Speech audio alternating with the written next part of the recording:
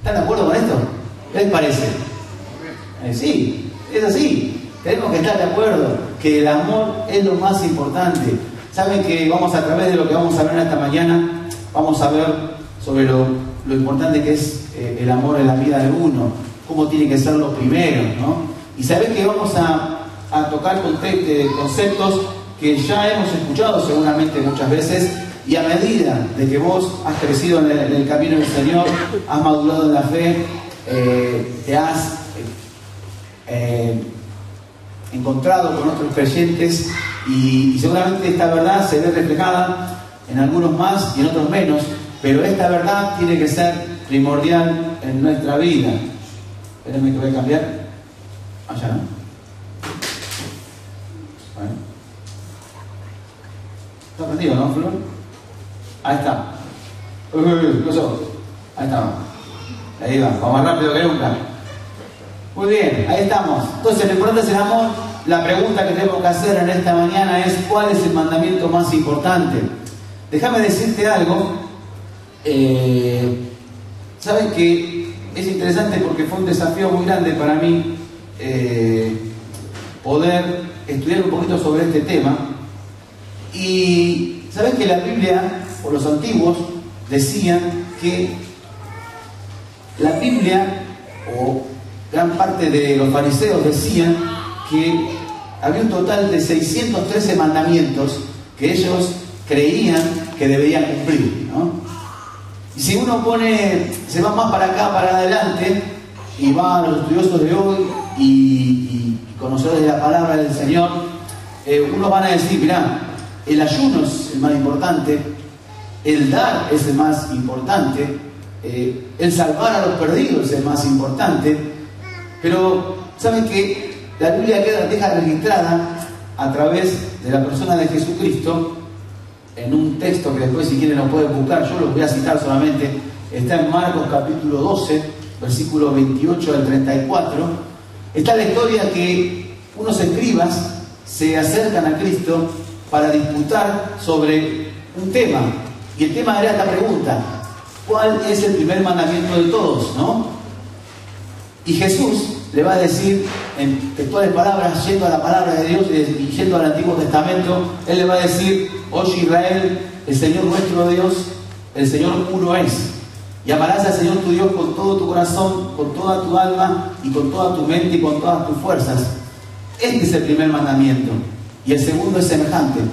Amarás a tu prójimo como a ti mismo. Dice, no hay otro mandamiento mayor que estos, ¿no? Entonces dice que el escriba le dijo, bien, maestro, verdad ha dicho que uno es Dios y no hay otro fuera de él. Y amarle con todo el corazón y con todo el entendimiento, con toda el alma y con todas las fuerzas, y amar al prójimo como uno mismo, como uno mismo, perdón, es más que todos los holocaustos y sacrificios. Jesús entonces dice, viendo que le había respondido sabiamente, le dijo, no estás lejos del reino de Dios. Y ya dice, ninguno osaba preguntándole algo, ¿no? Ahora, ¿sabes qué? Eh, no está en cuestión si es el primer mandamiento o no. Entendemos porque Jesucristo lo afirma y lo dice, que el primer mandamiento es que Él desea que los hombres le amen a Él, ¿no? Y amen al prójimo. Ahora, ¿saben que es interesante pensar que a veces decimos, no, pero las personas no aman a Dios y no aman a las personas. ¿Por qué? Porque las personas han decidido amar otras cosas. Y entonces, ¿qué, ocurre con esto? Yo hacía esta reflexión.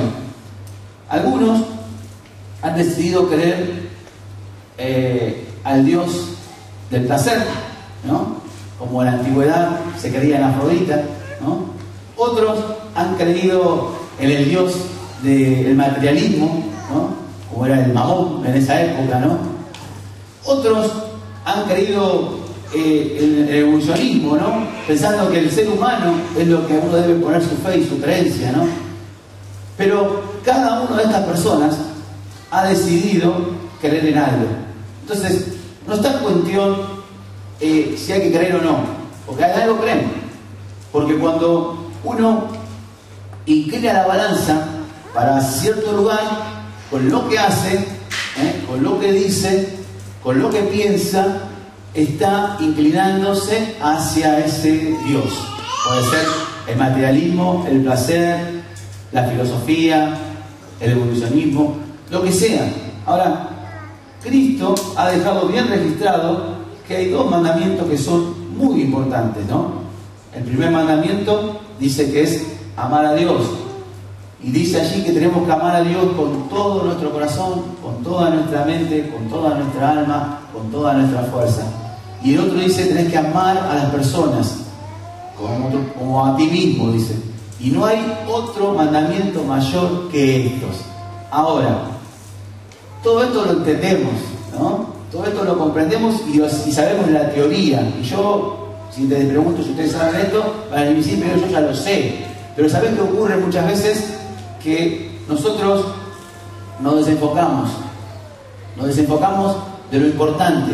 Por eso yo pusimos, pusimos como título arriba, lo importante es el amor. Porque vamos desenfocándonos en la vida y mirando a otras cosas, ¿viste? Que desvían tu mirada, la mirada primordial. Y como yo anoté por acá, eh, Él tiene que ser en tu vida la prioridad. ¿No está por acá? A ver. Vamos por atrás. ya vamos a agarrar, chicos. Ahí está. La prioridad del amor. ¿eh? Y saben que es interesante esto porque pueden buscar en su Biblia, ayúdenme porque vamos a leer un poco la palabra de Dios. Así que busquen ahí en Efesios capítulo 3, versículo 16 al 18. Porque todos sabemos estos mandamientos, todos sabemos este, este principio de la palabra de Dios, pero ¿qué sucede? Como les dije recién, nos desenfocamos, miramos hacia otro lado, pensamos más en nosotros mismos, pensamos más en nuestro placer, pensamos más en nuestro confort, pensamos más en nuestras prioridades, pensamos más en lo que es para mí y no lo que es lo, otro. Entendemos que primero está, eh, como siempre decimos, ¿no? las actividades y después entendemos que están las personas y así sucesivamente vamos desenfocándonos. Por eso el objetivo y el fin de esta campaña es que ustedes y yo pongamos en primer lugar al amor. ¿eh? que usted salga de esta mañana de aquí y cada domingo salga pensando que tiene que ser una persona más amorosa, ¿eh? aunque le cueste, aunque sea difícil, pero tiene que arrancar en esta mañana, en estas semanas, con ese principio, tengo que ser más amoroso. ¿eh? Y no le voy a hacer repetir esta frase porque parece psicología, ¿no? Pero no es así. Dígase usted mismo su corazón, tengo que ser más amoroso. Y seguramente si se evalúa y mira su corazón, se va a dar cuenta qué frío que somos, ¿eh? qué frío somos muchas veces, que somos insensibles a las situaciones, a las necesidades, y esas, eh, esos rasgos de personalidad anulan y aplastan este principio que es el principio del amor, ¿no? Y saben que una gran manera de arrancar para ser una persona amorosa tenemos que entender cómo es el amor de nuestro Dios, ¿no? Y vamos a tratar de analizar un texto que es una oración de Pablo, ¿eh? una oración de Pablo que hacía por estos creyentes de Éfeso, ¿no? Para que pudieran comprender ¿eh? cuál era la dimensión del amor de Cristo. ¿eh? Y si ellos llegaban a entender esta verdad, no iba, a, no, iba a, haber nada que nos parara para poder avanzar y seguir amando a los otros. Pero es necesario comprender lo que dice la palabra en cuanto al amor de Cristo. ¿eh? Y saben que eh, la mejor manera de arrancar es de rodillas. Y Pablo entendía esta verdad. Y si ustedes pueden leer Éfeso allí, esa, esta es la tercera petición que Pablo va a hacer para estos hermanos. Y su petición, él de rodillas, me lo imagino, pedir al Señor lo siguiente, lo que vamos a leer en esta mañana. Fíjate allí en tu Biblia y empezá a marcar una cosa que te digo. En primer lugar, dice, para que os dé conforme a la riqueza de su gloria el ser fortalecidos con poder, dice, en lo íntimo de su ser, por su espíritu, que habite Cristo por la fe en vuestros corazones, dice, a fin de que, arraigados y cimentados en amor, seáis plenamente capaces de comprender con todos los santos, dice, cuál sea la anchura, la longitud, la profundidad y la altura, y de conocer el amor de Cristo que excede todo conocimiento, dice, para que sean llenos de toda la plenitud de Dios. Y si tenés ahí tu Biblia para marcar, remarcar la siguiente frase que te voy a decir ahora. En primer lugar, a fin de que, arraigados y cimentados, allí vamos a tratar de avanzar con esto si podemos. Fíjate allí, como les dije, era un pedido de oración para que ellos puedan conocer las dimensiones de ese amor de Cristo, ¿no? Y Pablo ora para que ellos estuvieran arraigados, ¿no? Y ese término es interesante, yo lo puse allí porque les va a abrir mucho la cabeza.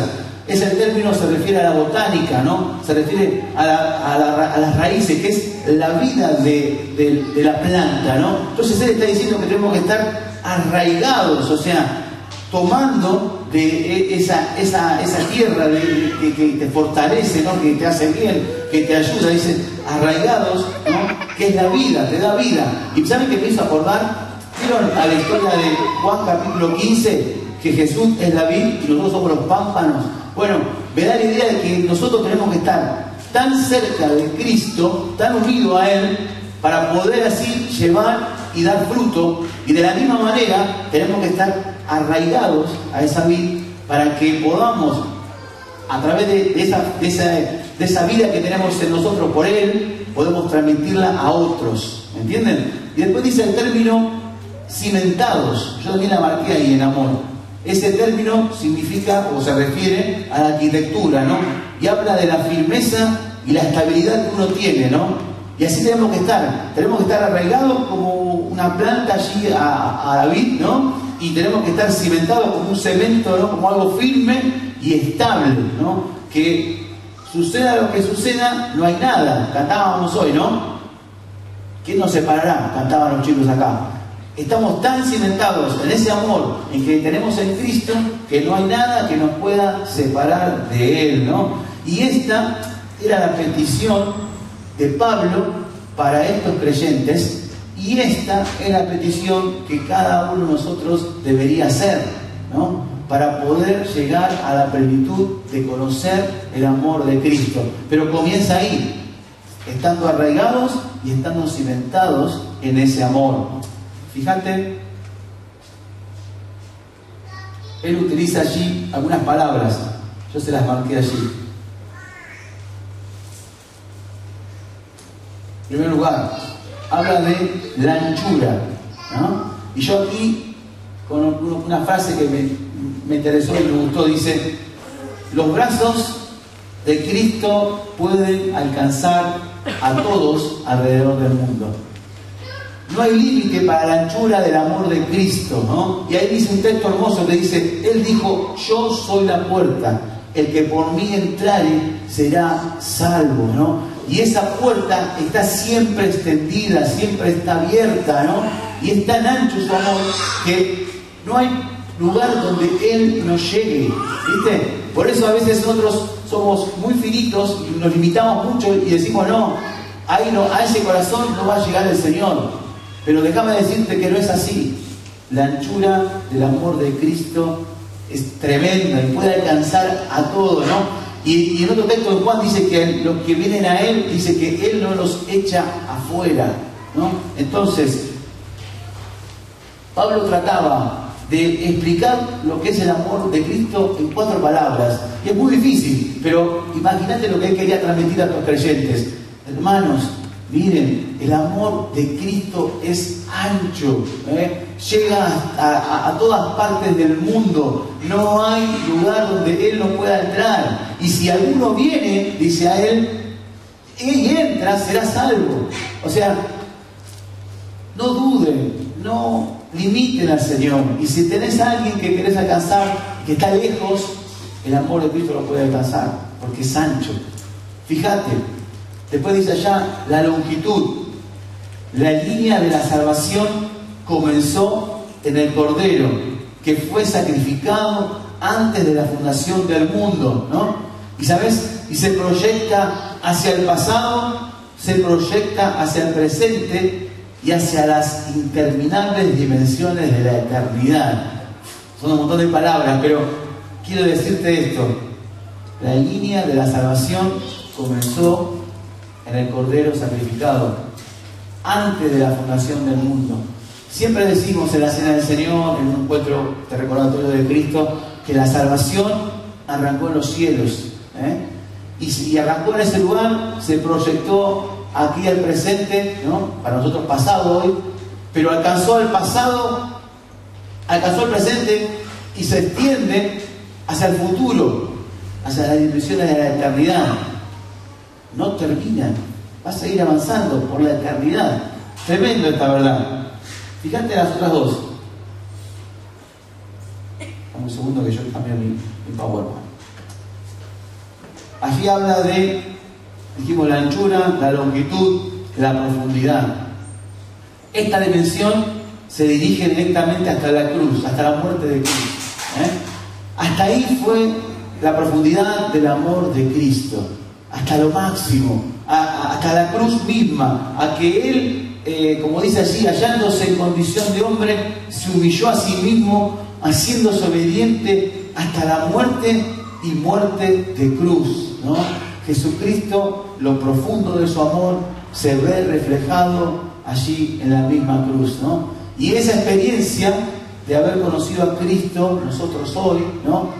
por el amor de Él, nosotros somos beneficiarios de ese amor, y ese amor sigue todavía obrando en las vidas de todas las personas, ¿no? Es la profundidad terrible, la misma muerte del Señor Jesús. Ese es el amor de Cristo, ¿no? Que es ancho, que puede alcanzar a todo el mundo, que es, largo y es el que se extiende desde el, pasado, presente hasta la eternidad, pero es profundo hasta la misma muerte de Jesucristo. ¿eh? Ese, es el amor de Cristo. Y fíjate lo último, la altura, ¿no? Y la altura de ese amor llega hasta el mismo trono de Dios. ¿eh? Allá, el tercer cielo, hasta allá llega. O sea, vos tenés la posibilidad de leer lo que decía el texto, él dice así el texto, a fin de que, arraigados y cimentados en amor, seáis plenamente capaces de comprender con todos los santos cuál sea la anchura, la longitud, la profundidad y la altura, dice, ¿no? El trono de Dios, el siendo en forma de Dios, no estimó el ser igual a Dios como cosa que aferrarse. O sea, no estimó, era Dios y no lo estimó, dijo, no, mi amor trasciende, ¿no? Trasciende ese, trasciende a Dios mismo. Pero fíjate, para que seáis capaces de comprender con todos los santos, ¿no? ¿Qué? Y conocer el amor de Cristo que excede todo conocimiento, ¿eh? El amor de Cristo excede todo conocimiento. Así que estamos tratando de explicar algo que lo excede. Porque yo te estoy diciendo algo que es algo que es ancho, que tiene longitud, que es profundo, que es alto, pero nosotros somos tan finitos, ¿no? Tan finitos para comprender, somos tan débiles que por ese motivo necesitamos, ¿eh? escucha bien esto, necesitamos que el Espíritu del Señor, el Espíritu Santo, que mora en tu corazón, obre en tu vida, ¿no? Para que puedas comprender esta verdad. Porque cuando vos comprendas esta verdad, automáticamente vas a amar ¿eh? a Dios en primer lugar, porque lo empezás a conocer, y vas a amar a las personas. ¿Me entienden? Vieron que la palabra del Señor dice que el amor de Dios ha sido derramado en nuestros corazones, ¿no? Bueno, ese amor, de esa experiencia que uno puede tener, la hace el Espíritu Santo en el corazón de cada uno, que deja que obre su vida, que deja que lo, controle, que deja que Él sea el primero en su vida y automáticamente, por un periodo de trabajo madurez, seguramente de aplicación de la palabra, uno va a poder llegar a ser más amoroso. ¿Me entienden? Pero humanamente no se puede, porque somos débiles, porque somos humanos y necesitamos de algo especial en nuestra vida, y eso es el Espíritu Santo que Dios le dio a usted y a mí, ¿no? Entonces, existe una ley que se llama la ley del amor. Déjenme que me acomodo acá y vamos a leer. La Biblia dice, no debáis a nadie nada sino el amaros unos a otros, dice. Porque el que ama al prójimo ha cumplido la ley. ¿Se acuerdan que los fariseos decían que hay 613 mandamientos? Bueno, el Señor dice que el que ama al prójimo cumple con toda la ley. O sea que si vos cumplís este, porque dice, porque no adulterarás, no matarás, no hurtarás, no dirás falso testimonio, no codiciarás, y cualquier otro mandamiento, en esta sentencia se resume. Amarás a tu prójimo como a ti mismo, ¿no? Y el amor no hace mal al prójimo, decía Pablo. Así que el cumplimiento de la ley es el amor. ¿Estamos hasta ahí? Esto es buenísimo. O sea, usted quiere cumplir la ley del Señor, ama a su prójimo, porque ahí se cumple toda la ley.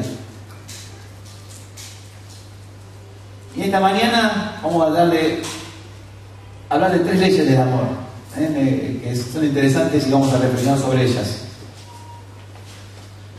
La primera ley es esta. Estas tres leyes vamos a querer que ustedes puedan tenerlas ahí prácticas y vivan su corazón, ¿no? De aquí en adelante y por años. Pero son tres leyes muy importantes. En primer lugar, el mejor uso de la vida es el amor. ¿eh? El mejor uso de la vida es el amor. Dios dice que amarle a Él tiene que ser nuestra prioridad número uno, nuestro objetivo primordial, nuestra gran ambición, nuestro propósito en la vida. ¿eh? Si vos estabas pensando armar tu vida de una manera, de así, allá, ya creyendo, porque cuando inclinamos nuestra balanza para algo, como le dije al principio, ¿no? Estamos tomando ya la decisión a quién vamos a amar. Déjame decirte que Dios desea ser el número uno en tu vida, el objetivo primordial en tu vida, tu ambición en tu vida, y tiene que ser el propósito principal en tu, vida y en tu corazón, ¿no? Desde tu juventud, de acá que comienza, o en tu vejez, tiene que ser lo primordial en tu corazón, ¿no? ¿Y por qué el amor es más importante que cualquier otra cosa? Bueno, hay algunas razones que yo en esta mañana quiero compartirlas con ustedes. En primer lugar, fíjate allí, dice que el amor confirma la fe. El amor confirma la fe. ¿Por qué es importante amar a la gente o amar a Dios? Porque el amor es como una muestra ¿eh? una muestra de que sos hijo de Dios, de que sos parte de su familia, de que le conoces, ¿no? De que has experimentado primeramente el perdón de tus pecados, que has experimentado la salvación y ese amor confirma ¿eh? tu fe. Fíjate allí, amados, amémonos unos a otros, dice mira Juan 4:7, porque el amor es de Dios. Todo aquel que ama es nacido de Dios. Dice. Remarcar en tu Biblia esta verdad.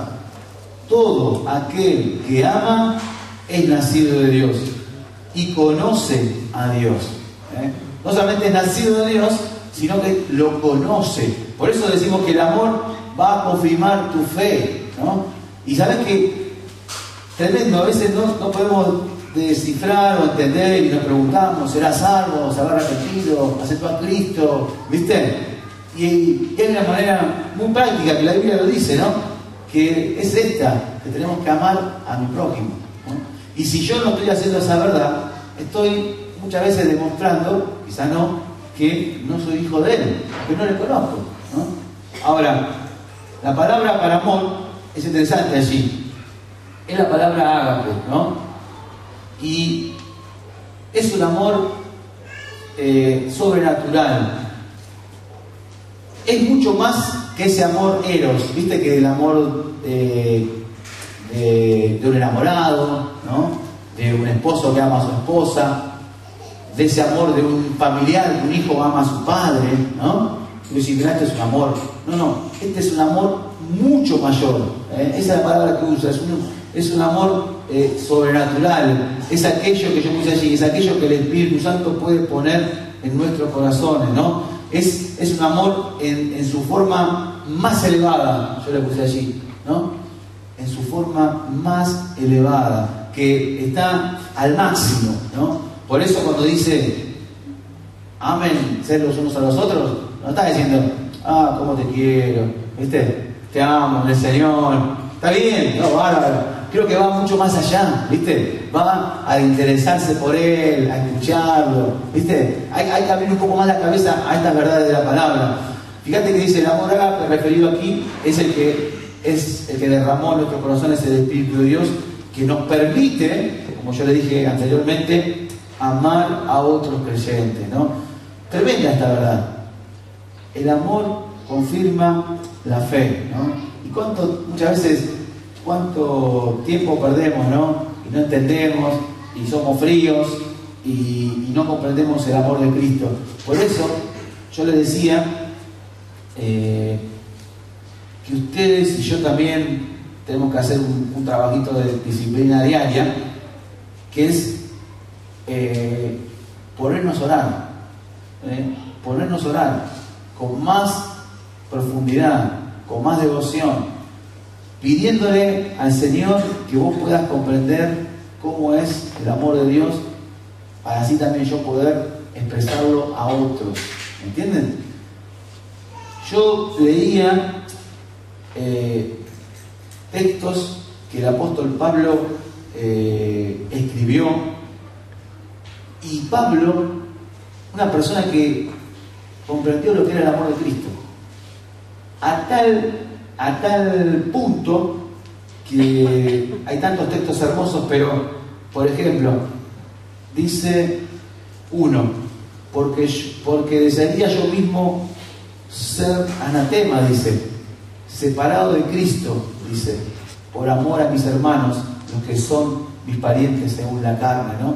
Fíjate ese amor al máximo que él deseaba él mismo ser anatema y ser separado si mis hermanos, o sea, los judíos, conocen a Cristo. Después, en otra parte allí interesante dice, eh, en Romanos dice, el amor no hace mal al prójimo, y así es el cumplimiento del amor, ¿no? Después dice otro texto, todas vuestras cosas sean hechas con amor, 1 Corintios 16, 14. Y fíjate este texto que después lo voy a citar acá, creo, pero se lo cito ahora, porque dice así, porque por la mucha tribulación y angustia del corazón os escribí, dice, con muchas lágrimas, no para que fueseis contristados, sino para que supieseis cuán grande es el amor que os tengo.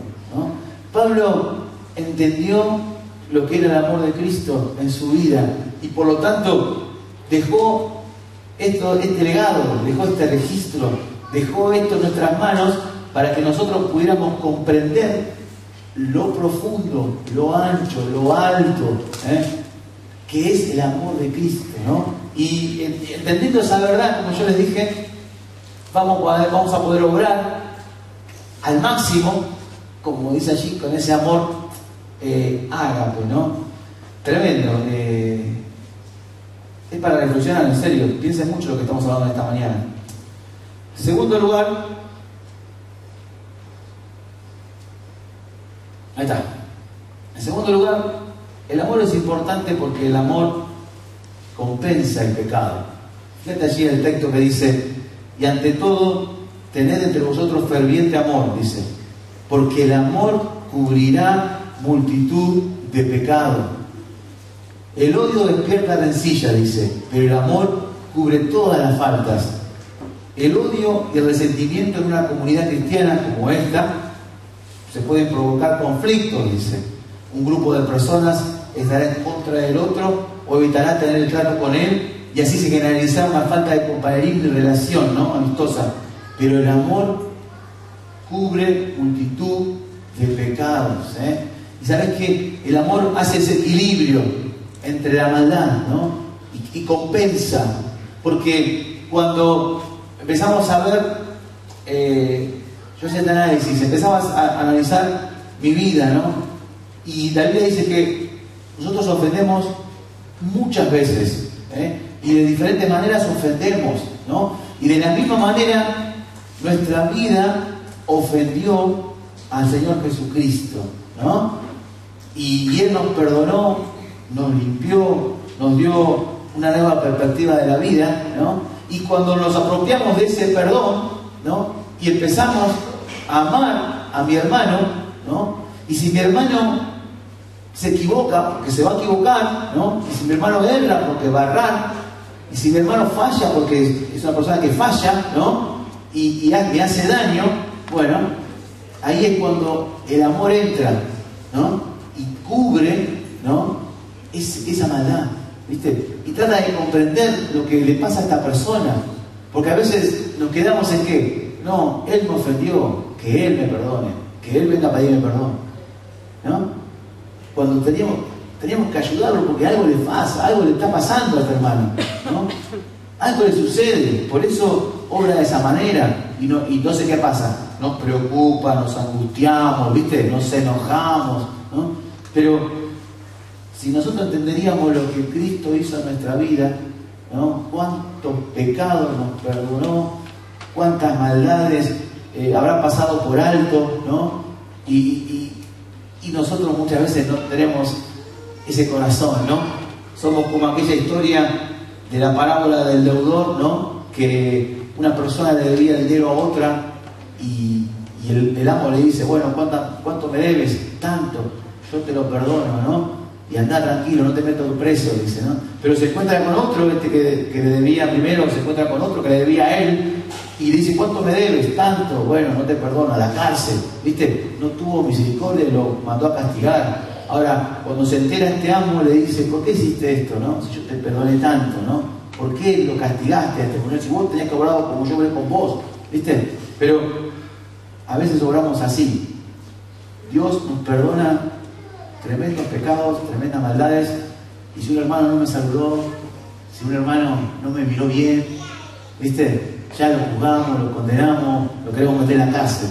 No, no. Tenemos que obrar con bondad, tenemos que obrar con misericordia, ¿no? Entonces, el amor es importante porque confirma mi fe, el amor es importante porque convence el pecado. Fíjate, quiero seguir avanzando porque se nos va el tiempo. ¿Me vas acá? A ver, ¿cómo estamos? El amor permanece para siempre. Ahí estamos, tercer lugar. El amor permanece para siempre. Y ahora permanece la fe, la esperanza y el amor, y estos tres. Pero el mayor de ellos es el amor. Fíjate esto, que no te digo, me gustó, me llamó, me llamó la atención y me gustó. El objetivo de la fe se va a cumplir. ¿no? Así que ya no habrá necesidad de la fe. La esperanza se convertirá en realidad. ¿no? Por lo tanto, no quedará nada por lo cual tener esperanza. Así, dice, así que la esperanza desaparecerá, pero el amor va a permanecer. Y esto es así, ¿eh? La fe un día se va a cumplir cuando nos encontremos en los cielos. Nuestra esperanza de estar en los cielos ya va a desaparecer porque vamos a estar ahí, ¿no? Pero el amor va a continuar, ¿no? Y yo puse allí que Pablo en este capítulo no estaba describiendo un término abstracto, ¿no? cuando se refería al amor, ¿no? Él estaba escribiendo la misma biografía del Señor Jesucristo, ¿no? De que se escribieron estas palabras que se encuentran en Juan 13.1. Habiendo amado a los suyos que estaban en el mundo, dice, los amó hasta el fin, ¿no? O sea, Jesucristo amó a sus discípulos y los sigue amando y los va a seguir amando. Y de la misma manera, el amor de Jesús es un amor eterno, ¿no? Te ama hoy, te va a amar mañana, te va a amar en la eternidad, porque eso no termina. El amor permanece para siempre. Por eso dice esta verdad. Segundo, vamos rápidamente ya. Dijimos que es importante el amor, ¿por qué? Hablamos del, primer punto, es el segundo, que dijimos que lo mejor del amor es que tu vida esté rendida hacia Él. En segundo lugar, la mejor expresión del amor es tiempo. Si queremos definir algo, es importante que es esto. La mejor expresión del amor es tiempo. Hijitos míos, no hablamos de palabras ni de lengua, sino de hecho y en verdad. Yo le puse allí, amor es igual a tiempo. Y acá anoté unas cosas que son interesantes. Cada uno de nosotros tenemos diferentes cantidades de energía, ¿no? es así, algunos tienen más energía que otros, somos distintos. Talentos, ¿eh? algunos son más inteligentes, otros tocan el instrumento, otros son mejores en, tal tarea, ¿no? personalidades diferentes, cada uno de nosotros somos distintos, ¿eh? con más amoroso, menos amoroso, diferente, más serio, más carismático, diferentes personalidades. Pero todos, ¿eh? escucha bien esto, todos tenemos el mismo tiempo. Todos tenemos el mismo tiempo. O sea, vos tenés 24 horas, yo tengo 24 horas. La diferencia está en dónde invertimos nuestro tiempo. Y sabes que, allí me hace acordar esto en estos días que estaba preparando el mensaje, ¿no? Dios a nosotros nos da diferentes cosas, ¿no? Nos da tesoros, nos da talentos, pero también nos da tiempo, ¿no? Y muchas veces nuestro tiempo no está bien invertido y desperdiciamos el tiempo. Y no es como aquello, ¿viste? Cuando vos tenés dinero, ¿no? Vamos a tocar el tema material un poco. Cuando vos tenés dinero y lo querés invertir, decís, ¿dónde invierto el dinero? Entonces, no decís, bueno, no, lo invierto a cualquier lado, total. No, no, ¿qué haces? Empezás a investigar, empezás a ver, no, si yo pongo el dinero en la bolsa, si yo pongo el dinero en, dólares, si yo pongo el dinero en el banco, si yo pongo el dinero en un, producto y compro y vendo, y empezás a analizar, ¿viste? Para, para esas cosas materiales investigamos y tratamos de, de ver a dónde puedo invertir de la mejor manera. Bueno, pero muchas veces con el tiempo no es así. Con el tiempo a veces no lo invertimos bien y lo perdés. ¿no? Por ejemplo, vos podés invertir en dólares, ¿no? como dicen ahora, compras un dólar a 10 pesos y lo esperás y decís, bueno, si lo puedo vender después a 13, gané. ¿no? Ahora, vos invertís el tiempo, por ejemplo, que está muy bien, pero en una pantalla, por ejemplo, decir, tuve una hora en la computadora haciendo algo positivo, capaz que sí. Ahora, ese tiempo que vos perdiste ahí ya no se recupera. ¿Viste? O sea, estamos constantemente invirtiendo tiempo y perdiéndolo. Entonces, es vital y muy de suma importancia eh, saber en dónde estoy invirtiendo mi tiempo. Y no, no, no tenemos tiempo para hacer una redundancia, ¿no? No tenemos el tiempo para decir cuánta gente invierte mal el tiempo en televisión, celulares, tablets. Eh, invertís el tiempo y lo perdés muchas veces. Son cosas que suman y a veces no. ¿Cuántas veces nos pasamos viendo videitos? Tonteras. ¿Viste? Oh, qué bueno, cómo me reí. Cuando puedes estar haciendo otra cosa, pero ¿a qué voy a esto? Que a no está mal, podemos hacerlo, pero tienen que mirar bien en qué invierten su tiempo, ¿no? Porque el amor, la expresión, la mejor expresión del amor es el tiempo, ¿no? Y a veces eh, nos autoengañamos. Hoy día hay muchas familias que piensan que si yo le doy a mi hijo un buen celular, le doy una tablet, le compro una computadora, le compro su mejor zapatilla y me la paso trabajando para, para ayudarlo, y capaz que el pibe no necesita eso, necesita que esté con él. ¿no? Muchas veces pasa eso, nos pasamos trabajando los hombres para tratar de suplir una necesidad y perdemos el mejor tiempo, que es estar con nuestros hijos, jugar con ellos, ¿no? Tantas cosas que a veces nos perdemos y la vida se le va. Por eso te digo, invertí bien el tiempo. Y Pablo, que yo recién se lo leía el texto, no se lo voy a nuevo, pero fíjate, Pablo estaba dispuesto a invertir su tiempo. Dice, yo con el mayor placer gastaré lo mío y aún yo mismo me gastaré del todo, dice. ¿Por amor de quién? De vuestras almas. Aunque amando más, sea amado menos. Pablo entendía que la mejor expresión del amor es el tiempo. Y él estaba dispuesto a dar su tiempo ¿eh? por amor a ellos.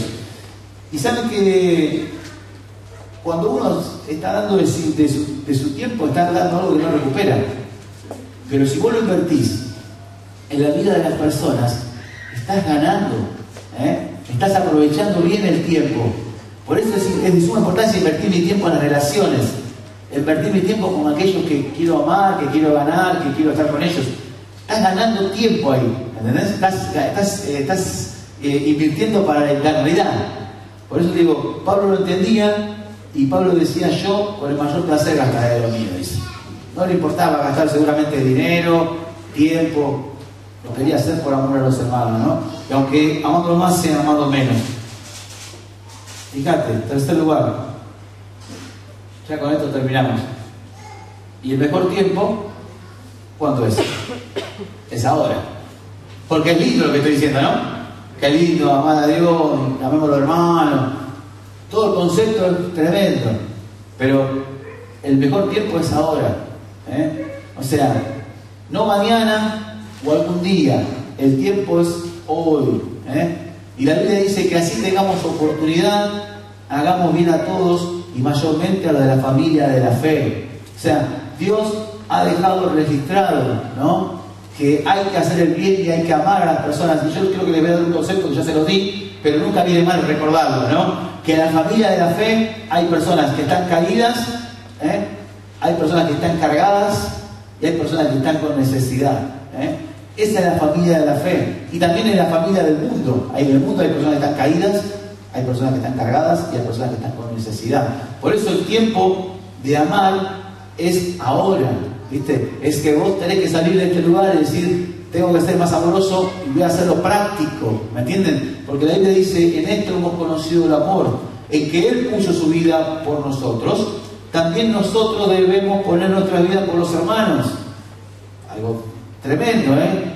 Uno pondría la vida por sus hijos, por su esposa, pero por sus hermanos va a dar su vida, bueno, pero dice la Biblia, el que tiene bienes de este mundo y ve a su hermano con necesidad, dice, y cierra contra él su corazón. ¿Cómo mora el amor de Dios en él? Tremendo. Si vos estás viendo que un hermano está caído, como dice Gálatas capítulo 6, versículo 1, ¿no? que por su mala decisión, por su querer hacer su voluntad, por querer determinar su propia vida, ha caído y está mal con Dios, y vos lo ves que está ahí, bueno, necesita que alguien llegue a su vida, que le diga, che, estoy orando por vos, che, te amo en el Señor, vamos a leer la palabra, oremos juntos, ¿viste? O sea, estás ahí, ¿viste? Cerca de Él. Si te encontrás con alguien que está angustiado, porque está en enfermedad, porque está en soledad, porque está sin trabajo, porque no sé, tiene tantas cosas y qué necesita. Y bueno, necesita que hagas práctico el amor, ¿no? Y si vos tenés ahí, como dice, Dios te ha bendecido con bienes, ¿no? Y ves que tiene necesidad, ¿cómo no le vas a ayudar? ¿Cómo va a morar el amor de Cristo en tu corazón si no lo haces? ¿no? Entonces, caídos, cargados con necesidad, ¿no? Entonces, ¿qué desafío tenemos, no? De hacer, de ser personas más amorosas. Y les dejo este desafío en esta semana. ¿eh? Váyanse con esto. Tengo que ser más amoroso. Si ustedes aprenden esta lección, Dios lo va a bendecir muchísimo. Y a nosotros también. Oramos. Señor,